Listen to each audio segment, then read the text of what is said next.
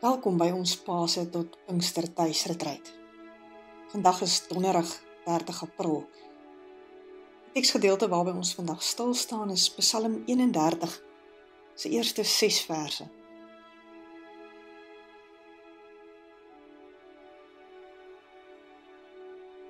Ek nooi jou graag om jou Bybel by die gedeelte oop te maak. 'n Notaboek en 'n pen by jou te hou. En as jy wil, wil ek jou graag nooi om nou 'n kers aan te steek terwyl ons doelbewus in hierdie oomblikke draai na God se teenwoordigheid by ons en in ons.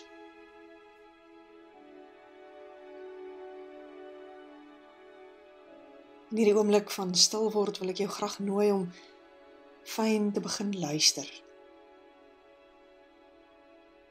Luister eers na die geluide wat jy buite om jou hoor.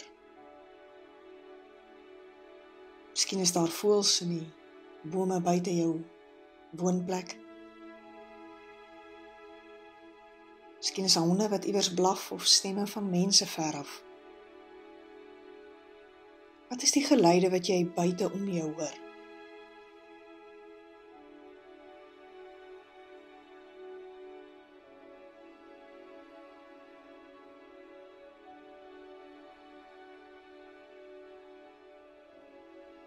Luister nou ook na die geluide en die stemme binne in jouself.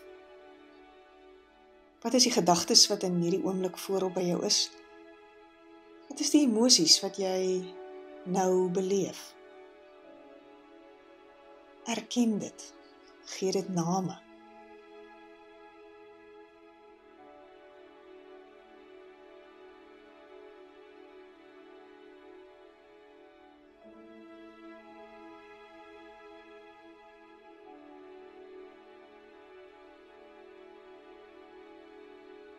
As jy nog fyner luister, sal jy bewus raak van jou eie asemhaling. En ek wil jou nooi om doelbewus 'n paar keer daarop te fokus. Weer diep asem in te haal en uit te blaas.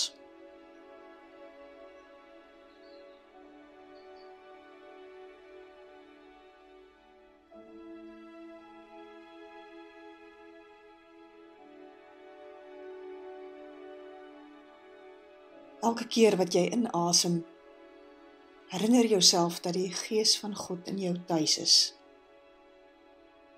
En soos wat jy uitasem, gee die gedagtes en emosies wat in hierdie stadium voorop is by jou vir die Here.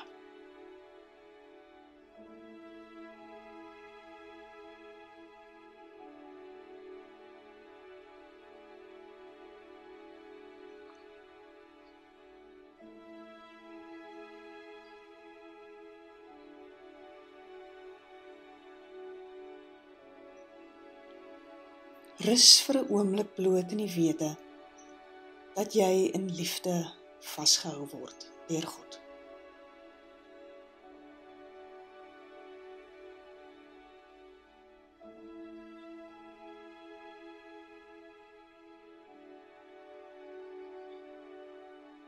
Psalm 31 vers 1 vir die koorleier 'n psalm van Dawid. By U, Here, skuil ek. Laat my tog nooit teleurgestel staan nie. Bevry my, want U is getrou. Luister na my. Red my tog gou. Wees vir my 'n rots om na toe te vlug en 'n bergvesting om my te red. Ja, U is my rots en my bergvesting, ter wille van U naam sal U my voorgaan en my lei. Bevry my uit die vangnet wat hulle vir my gestel het, want U is my toevlug. In U hande gee ek my lewe oor. Want Here, troue God, U het my vrygemaak.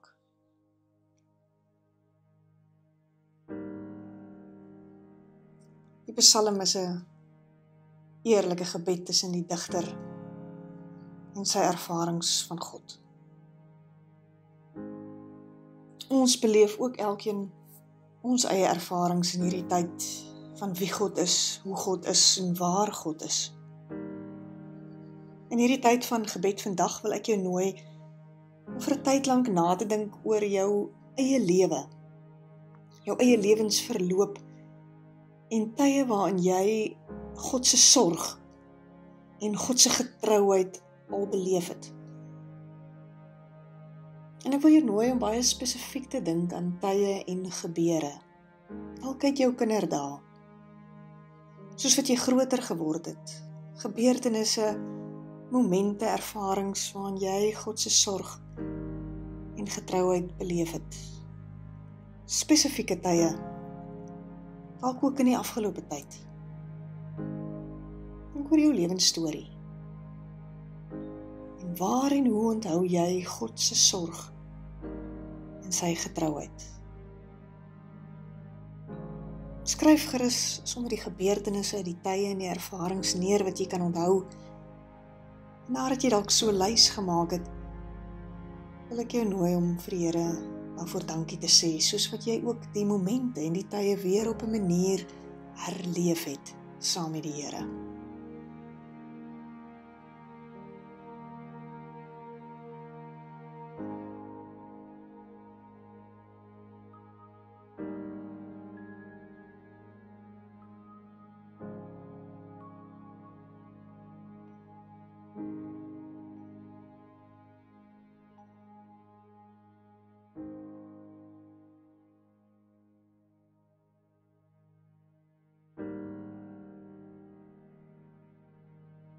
Kan ek jou nooi om nou na te dink oor wat of waar is die spesifieke areas waarin jy nou in die tyd veral na God se trou verlang.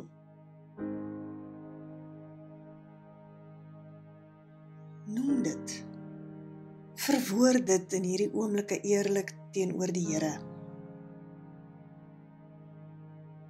Wat is die areas waarin jy nou in die tyd na God se trou verlang en praat met die Here daaroor.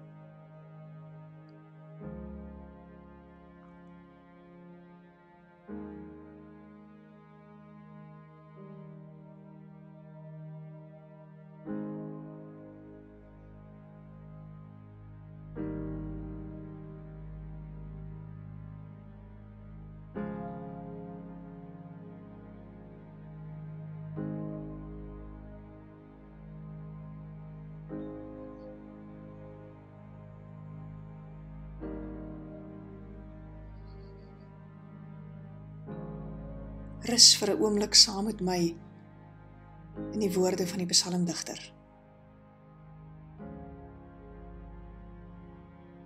By U, Here, skuil ek. Laat my tog nooit teleurgestel staan nie.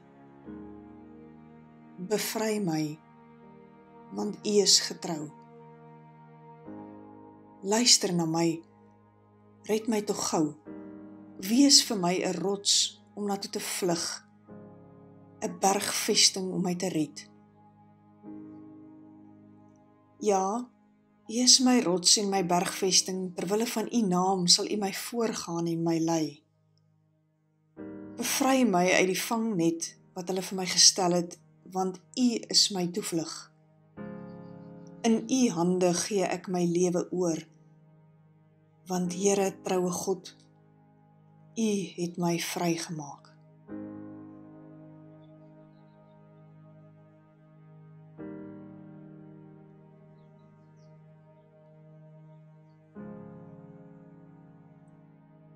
Kom ons sluit die tyd van gebed af. Weer saam die onsse Vader gebed te bid. Ons Vader wat in die hemel is, laat U naam geheilig word.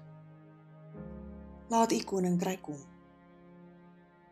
Laat U wil ook op die aarde geskied net soos in die hemel.